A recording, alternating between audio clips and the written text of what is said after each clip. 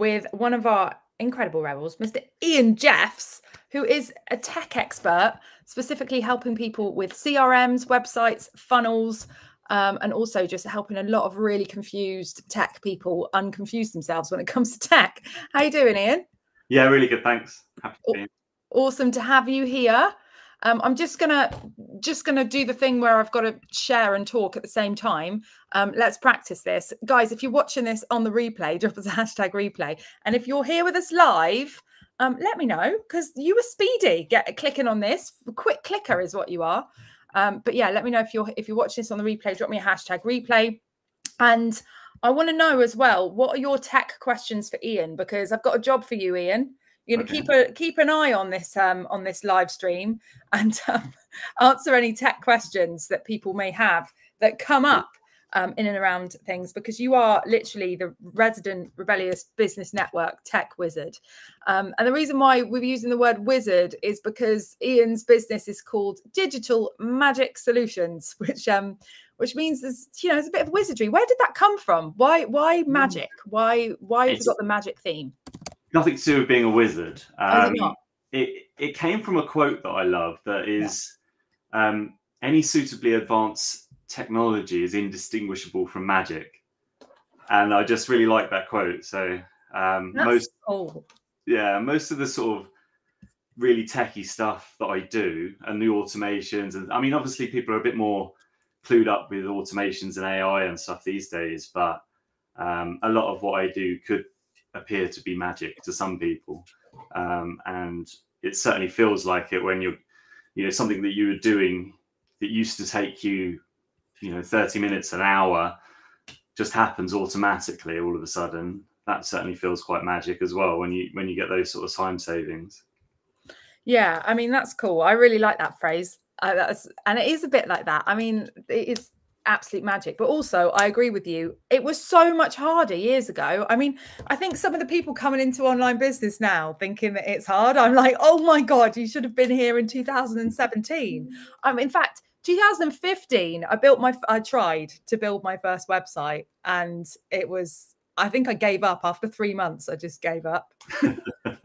Do you remember your first website? Were you born with this like innate talent? To, um, just... I taught myself how to code websites in Notepad, just writing pure HTML. Um, so yeah, that's the geeky side of me. So my first website probably came off the back of MySpace. Remember when you used to have like your own bit that you could edit and like add your own header and so I learned HTML code to do that and then I started building websites and then even age, I think I was about 19. I built a website for someone, they actually paid me. Um, and then I went off to university and sort of stopped doing all that. Um, and then went into the corporate world. But since I've come back, obviously everything's a hell of a lot easier now with page builders, yeah. and you don't have to get involved with the code much anymore. Oh, and if you do, we got ChatGPT to write it for us now as well, which is even better.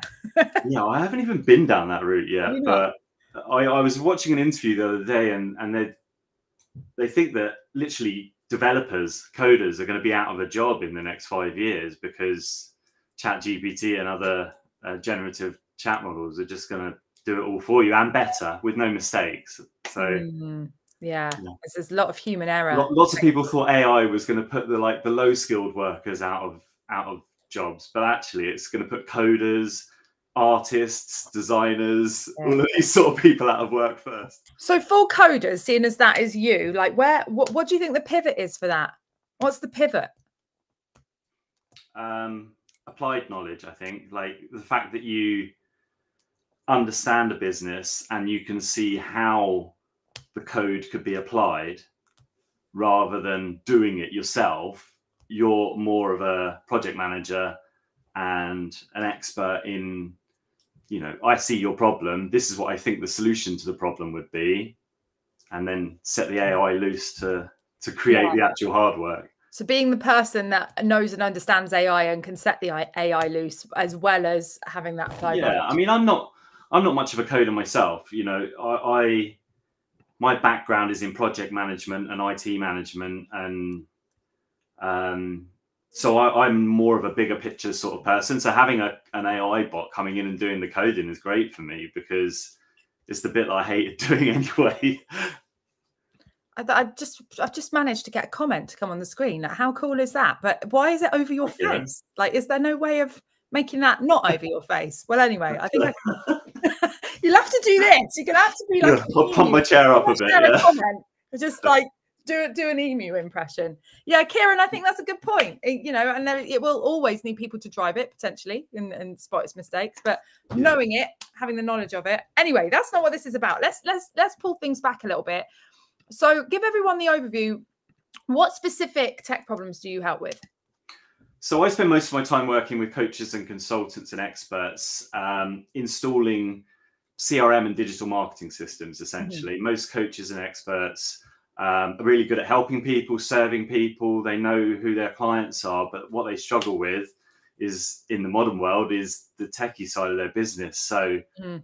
websites, emails, autoresponders, calendar links, like, and if you Google how to do these things, yeah, sure, you can find solutions. Calendly's there. You can get a CRM system. You can get all of these different bits of software, and then you soon realize that you've got 10 different bits of software none of them really talk to each other properly mm-hmm. uh, and you end up with just like a, a, mess of zapier and like trying to get all these systems to talk to each other and um, i've got my own custom built crm system that brings all of those tools together under one roof it all just works and i set it all up implement it and and you know it's sort of a done for you service so yeah. um, I, i'm just yeah, I'm here to take that weight off people's shoulders. Now, obviously, I do other things like build websites and search engine optimization and other sort of techie stuff, but the core of my business is really um, simplifying how how coaches and experts go to market, essentially taking that techie stress away from them. So, what stage do you think that's important then? Because obviously, you know, I mean, I I don't think people need a website to get started you know, you have your first few clients without having a website. I mean, we didn't even have an official website until we were well, well over six figures um, yeah. in sales. So if, if that doesn't sort of prove that, then I don't know what else will.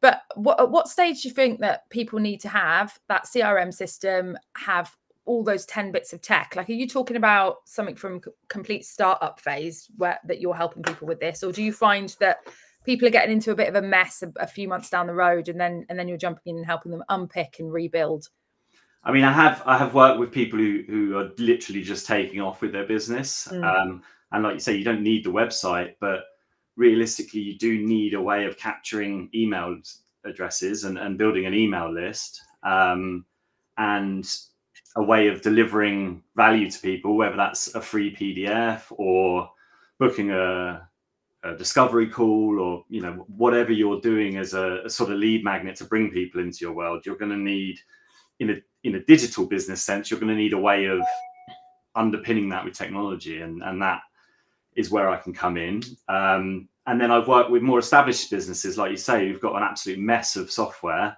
Yeah. Um, and then I will come in and, and migrate everything into one central location that all just sort of works together.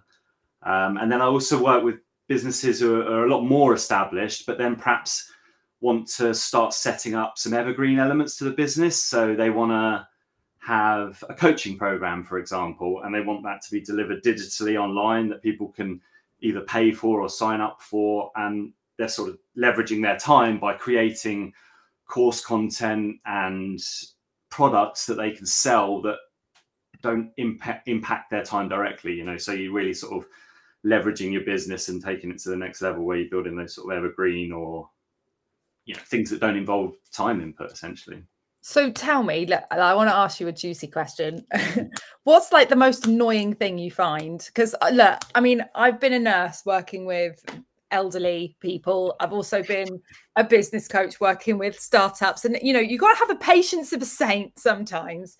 So when you get into people's systems get into their businesses and look at things what's like the number one bugbear of like oh no they've done that or oh gosh it's set up like this or oh no, not again. Is there any things like that that drive you bonkers? Not, not that come to the top of my head. I mean, I, have worked in IT for well over 20 years, so I've got quite a lot of patience um, when it comes to people and their techie problems. But uh, What about the number one mistake you see people make that you have to rectify? People who think that they can run a whole business on a spreadsheet is probably one of my things. They're like, no, no, no, it's all right. I've got it all on the spreadsheet. And you're like, okay, and that's where we're at. yeah, okay. I hear that. So why can't you do that? Why can't you run your whole business on a spreadsheet? Oh, of course you can. But why would you want to when there are ways that are either free or extremely cheap that can make your life significantly easier um, and remove single points of failure. You know like you've got a, a, spreadsheet on your computer you your computer hard drive's wiped and then there goes your business you know? It's um or, or you get a corrupted file.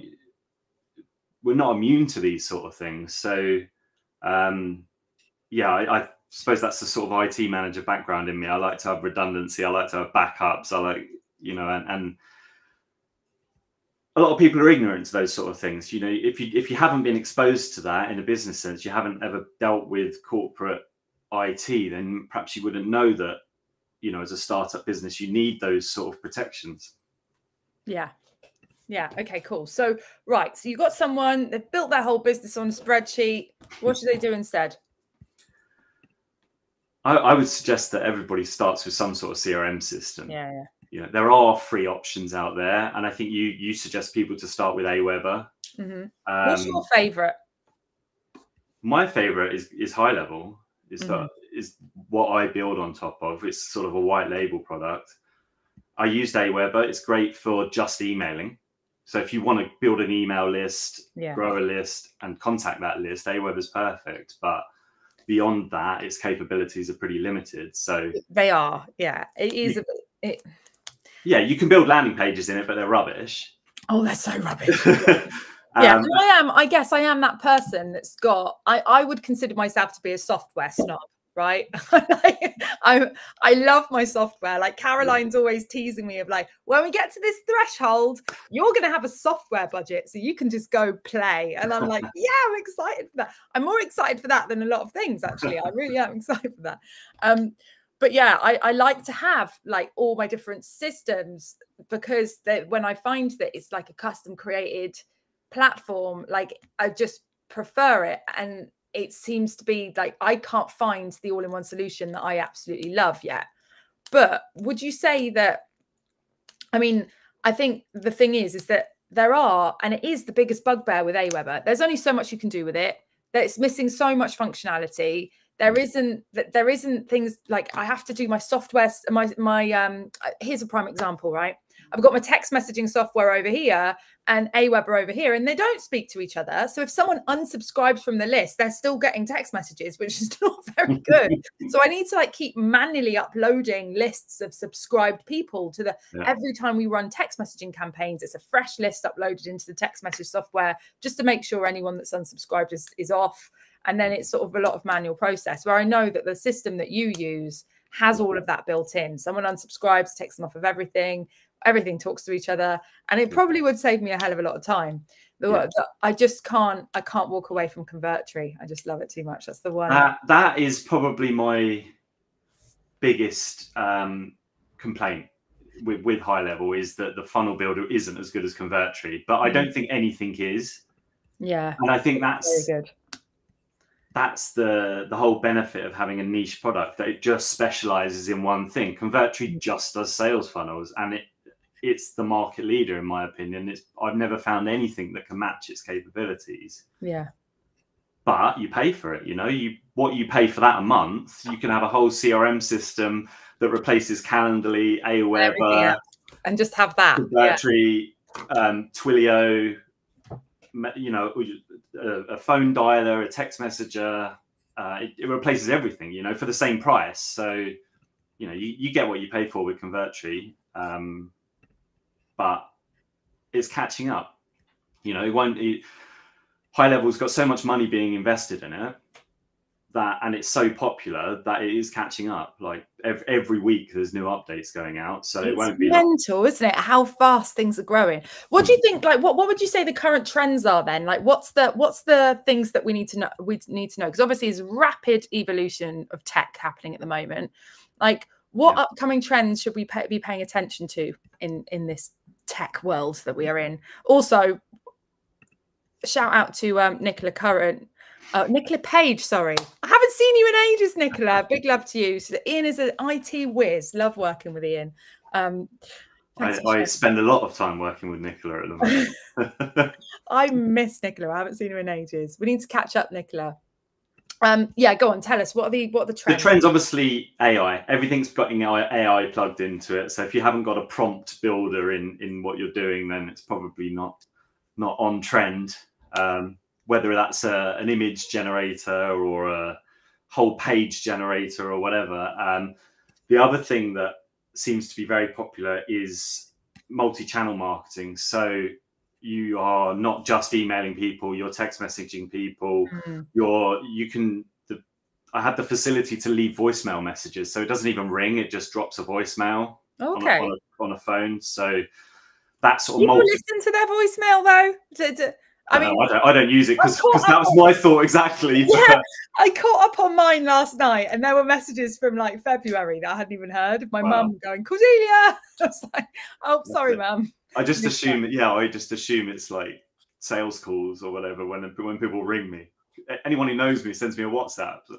Yeah, exactly. But that's right. the other thing. Was WhatsApp integration as well, being able to drop messages into WhatsApp from a CRM system and, and, integrating it into um, uh, a workflow. So this is one of the things that I love the most is building automations and workflows that um, detach your time and your brain power from your marketing process. So you know if somebody signs up for something or somebody clicks a particular button or takes an action within your ecosystem that there is going to be a whole follow-up series of actions that is just managed for you it's all automated so you know someone signs up for your lead magnet pdf for the next two weeks they're getting an email every single day where you're introducing them to your world. I, I call it an indoctrination sequence. So, you know, yeah, I mean, you're just bringing them into your world. So you've got like, um, here's my best blog article. You should yeah. go and watch this video.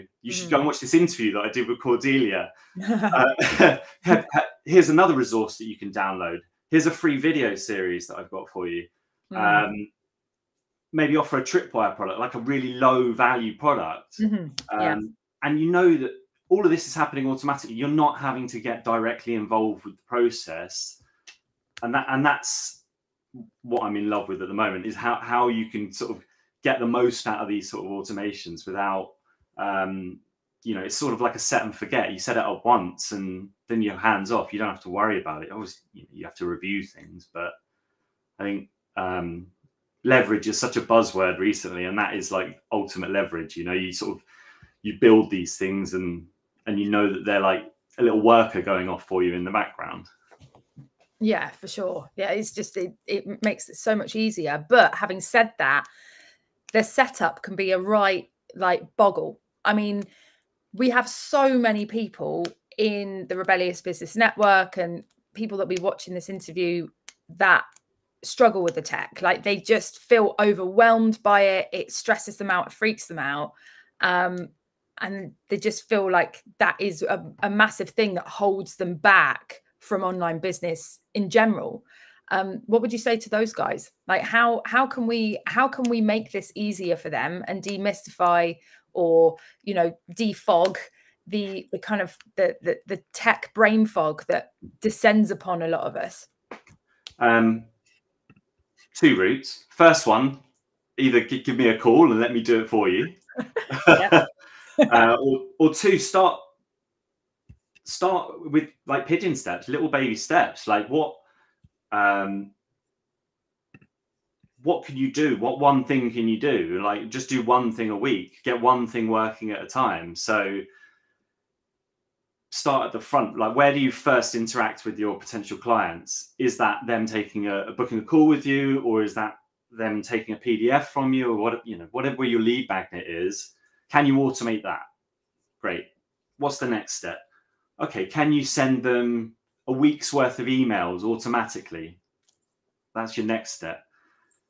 What's your next step after that? Can you then um, offer a free a, another freebie to them or you know in in your world do you have a tribe magnet can you automate your weekly emails going out for that can you build templates so that you don't have to retype everything every time so that that would be my my, my advice would be small steps because yeah that's the point of leverage is you build these things once and then they continue to work for you every time thereafter. So you only have to get one little thing right each time and then they all just stack on top of each other. So it's you know it sounds like you're saying we we start installing the tech when we get to optimization. And so we get to optimization from testing something live manual you know are people interested in this? Does it work once we've got kind of wheels turning things moving it's about going right how can i start to automate this so there isn't so much manual horsepower going and then in doing that, you just do one thing at a time. But it's still really overwhelming to say, okay, well, I've got people that are showing an interest in, let's say, um, a live event that I'm running. I'm running this webinar, people are coming along to it, but all I've been doing is sharing the Zoom link on social media. So how can I start getting those people on an actual email list? That that is that first one is quite a jump, isn't it? So yeah for, and, and I, I do feel that people aren't list building or people aren't getting started with that because they're just overwhelmed with where to start, like what to do. So let's let's just lay down five steps. Okay. Five steps. What do you do? I'm running a live event. I've got a Zoom link. I'm sharing it on social media, but I want these people on my email list. First step is don't share the Zoom link. yeah, might get people... porn bombed. Might get porn bombed. Yeah. Well, you also you're also immediately giving people away to to, to Zoom, and then you're requiring yourself to make more work to then export that data from Zoom into somewhere else where you can use it. So my first step would be to set up a landing page for your event with all the details and a place where people can put their name and email address to sign up. Mm-hmm. Two benefits from that is A, you're building a list, and B, you've got full control over the real estate. You can make that landing page look and feel how you want. You can share all the information. And the, the, the, additional benefit of that is when people go onto your list by signing up, you can then tag them as they were interested in this event at this time. Mm-hmm.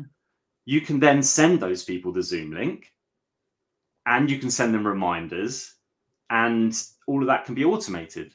So you don't then have to worry about each of these individual people who are signed up for your event, you know that automatically they're all getting reminders and, and invitations, etc. But you've built a list at the same time. So, and you've tagged these people with an interest code that says they they were interested in this particular live event I did, which then, you know, like you were saying, you start to generate information about who's interested in what and what was your best promotion, what was your best offer. Yeah, awesome. So let's just give those five steps a word each, just as a summary. Okay. Landing page, sign up form, tagging people in a list, automated reminders, and event link. And if that completely overwhelms you, then reach out to Ian and have a chat because this is what yeah. he does and he'll help you with all of it. Um, Nicola's saying, absolutely let Ian do it for you if you can. What would take me days and a laptop launched through the window takes in a couple of hours, uh, takes in a it takes Ian a couple of hours. It, oh, she's in A. I think I was supposed to say Ian a couple of hours. um, Ian has saved myself and our team hours of manual input. So much time is freed up to focus on growth. The return on investment in this type of software is huge. Well, I think that says it all, Ian. Um, yeah. There's my advert. how can people how can people reach out to you if they need some support with the tech? Um, the best place is just to just to book a call. Let's you know let's have a chat. Um, drop me a link. I, I think you were going to drop me a link. I can't find it anywhere. I so. didn't send it to you. Okay. It's in, it's in, our chat, in our private chat now. Right. So I am going to drop this link into everywhere, I think.